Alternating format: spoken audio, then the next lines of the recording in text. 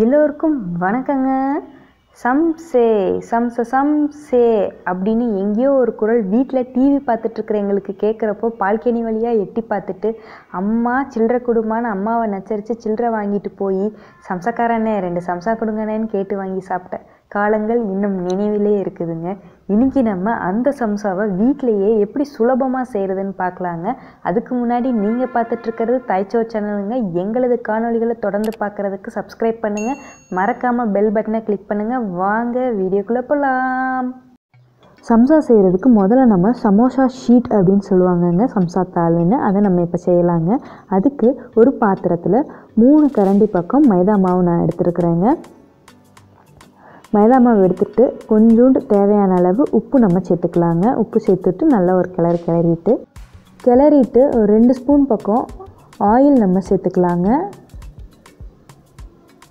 சேர்த்துட்டு சப்பாத்தி மாவு பதத்துக்கு நம்ம தண்ணி ஊற்றி நல்லா பிசைஞ்சுக்கலாங்க.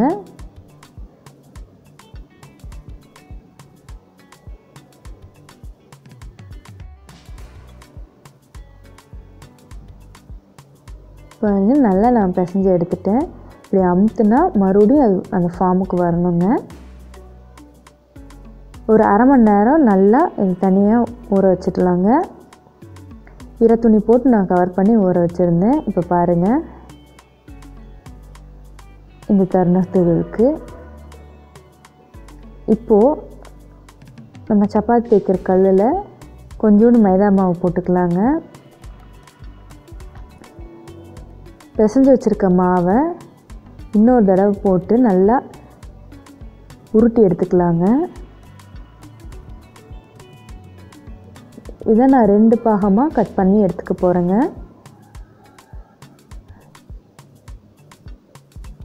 இந்த அளவுக்கு உருட்டி ரெண்டு பாகமாக கட் பண்ணி எடுத்துக்கிட்டேன். இப்போ அதில் ஒரு பாகத்தை நல்லா உருட்டிட்டு இது மூணு உருண்டைகளாக கட் பண்ணி எடுத்துக்க போகிறேங்க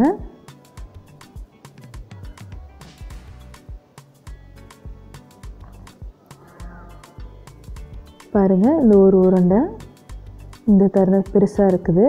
இந்த சைஸுக்கு கட் பண்ணி எடுத்துக்கோங்க.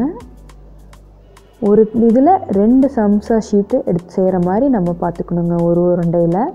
இப்போ ஒரு உருண்டையை எடுத்து மறுபடியும் மைதா மாவு வச்சு நம்ம தேய்ச்சி எடுத்துக்கலாங்க. எந்த அளவுக்கு மெலிசாக தேய்க்க முடியுமோ அந்த அளவுக்கு மெலிசாக தேய்ச்சிக்கோங்க.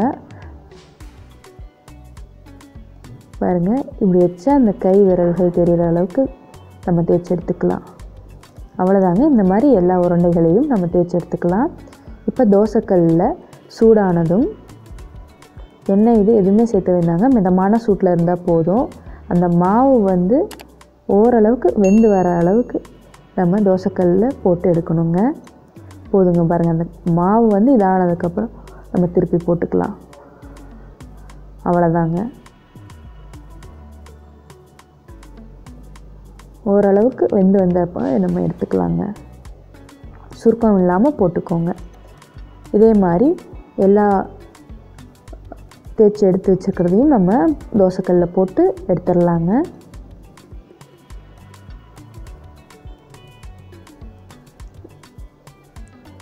நம்ம எண்ணெயில் போட்டு பொரித்து எடுக்கிறதுனால ஓரளவுக்கு இதை வெந்தால் போதுங்க. ஒன்றோட ஒன்று ஒட்டாமல் இருக்கணும். அதுக்காக தான் இதை எடுக்கிறோம். இப்போ பாருங்கள் நல்லா ஹார்டாயிருச்சு இப்போ நம்ம ஓரங்களில் கட் பண்ணி எடுத்துக்கலாங்க. ஓரங்கள் நமக்கு தேவையில்லை.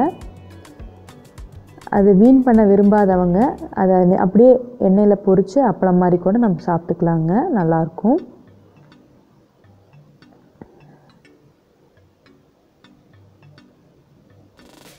இப்போ இது ரெண்டு ஷீட்டாக நான் எடுத்துக்க போகிறேங்க ஓரளவுக்கு இந்த சைஸில் இருக்கிற மாதிரி பார்த்துக்கோங்க. உங்களுக்கு எந்த சைஸில் சம்சா வேணுமோ அந்த அளவுக்கு இதில் கட் பண்ணி எடுத்துக்கோங்க.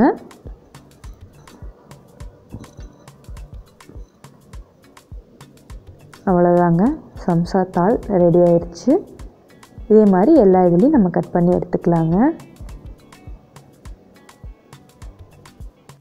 அடுத்தது சம்சாக்குள்ளார வைக்கக்கூடிய ஸ்டஃபிங் எப்படி செய்கிறதுன்னு பார்க்கலாங்க. நான் இன்றைக்கி உருளைக்கிழங்கு பட்டாணிலாம் போட்டு செய்யக்கூடிய ஸ்டஃபிங் நாங்கள் செய்கிறேன் தண்ணி நல்லா கொதித்தோடனே உருளைக்கிழங்கு நல்லா கழுவிட்டு நம்ம வேக வச்சு எடுத்து வச்சு மசிச்சுக்கலாங்க.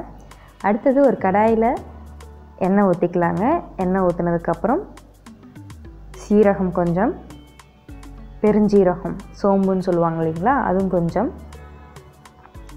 பச்சை மிளகா ரெண்டு பச்சை மிளகா பொடிசாக நறுக்கி வச்சுருக்குறேங்க. அது நம்ம சேர்த்துக்கலாம். வெங்காயம் இர ரெ- இரண்டு வெங்காயம் பொடிசாக நறுஞ்சி வச்சுருக்குறேங்க. அதையும் நம்ம சேர்த்துக்கலாம். இது கூட கருவேப்பில கொஞ்சம் கிள்ளி போட்டுக்கலாங்க. இது ஓரளவுக்கு வணங்கினா போதுங்க. நம்ம எண்ணெயில் போட்டு பொறிச்சு எடுக்க போகிறோம் அதனால் ஓரளவுக்கு வணங்கினா போதும்.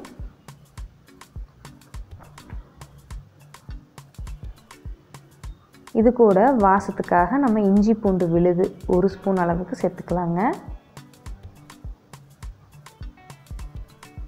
சம்சா தாள் செய்கிறப்ப அது கூடவே நம்ம உப்பு சேர்த்துருக்குறோங்க. அதனால் தேவையான அளவு பார்த்துட்டு இது கொஞ்சோண்டு உப்பு சேர்த்துக்கோங்க. அவ்வளோதாங்க. இது வேக வச்ச பட்டாணி இதுக்குள்ளே சேர்த்துக்கலாங்க. பட்டாணி தனியாக வேக வைக்கலைன்னா உருளைக்கிழங்கோட ஒன்றாவே நீங்கள் வேக வச்சுருங்க. நல்லா வெந்து வந்துடும்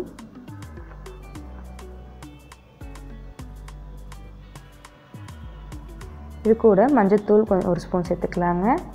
நான் மட்டன் மசாலா கறி மசாலா வீட்டில் செஞ்ச மசாலா தாங்க. அது ஒரு ஒரு ஸ்பூன் சேர்த்துருக்குறேன். அந்த ஃப்ளேவரே நல்லா இருக்குங்க. பட்டை கிராம்புலாம் போட்டு அரைச்ச மசாலா தான். வேக வச்ச மசித்த உருளைக்கிழங்க இது கூட சேர்த்துக்கலாங்க. எல்லாம் போட்டு ஒரு கிளறு கிளறிக்கலாங்க அந்த சூட்டோட.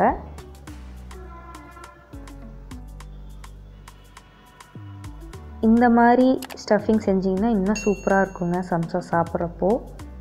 கடையில் செய்கிற சம்சா மாதிரியே இருக்கும். நல்லா டேஸ்ட்டாக இருக்குங்க. அவ்வளோதாங்க. கடைசியாக கொத்தமல்லி தலைகளை போட்டு நம்ம ஒரு கிளறு கிளறி ரெடி பண்ணி எடுத்து வச்சுக்கலாங்க. இது மாவு ஊறுற டைமில் இந்த ஸ்டஃபிங்கை நம்ம செஞ்சு வச்சுக்கலாங்க.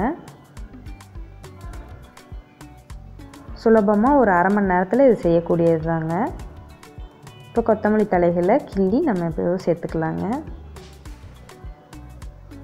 எப்போவுமே கொத்தமல்லி தலை கருவேப்பிலையெல்லாம் கிள்ளி போட்டிங்கன்னா அதோட ஃப்ளேவர் நல்லாவே இருக்குங்க. கத்தியில் அரிஞ்சு போடுறதோட கிள்ளி போடுங்க. அடுத்தது முக்கோண வடிவில் நம்ம ஒட்டுவோங்க. அதுக்கு பசை தேவைப்படும். மைதா மாவில் தண்ணி கரைச்சி ரெடியாக வச்சுக்கோங்க. அடுத்தது முக்கோண வடிவம். சுலபமாக இந்த முறையில் செய்யுங்க. ஈஸியாக இருக்கும். அதான் ரெடி ஆயிடுச்சு. இதுக்கு நடுவில் நம்ம ரெடி பண்ணி வச்சுருக்கிறதுல உருளைக்கிழங்க இது கூட சேர்த்துக்கலாங்க. இது ஒட்டுறதுக்கு தாங்க அந்த பசை தேவைப்படும். இந்த ஓரங்கள்லேருந்து இப்படி ஒட்டிடணுங்க. முக்கோண வடிவத்துலேயும் இந்த இதையும் நம்ம ஒட்டிடணும்.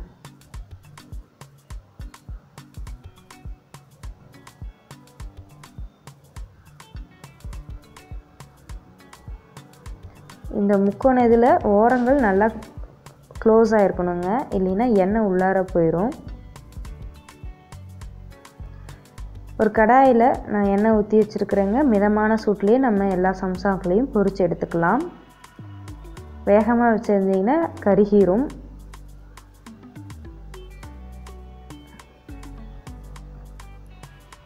இந்த முட்லிகள்லாம் அடங்குச்சுன்னா நல்லா சம்சா வெந்துருச்சுன்னு அர்த்தங்க.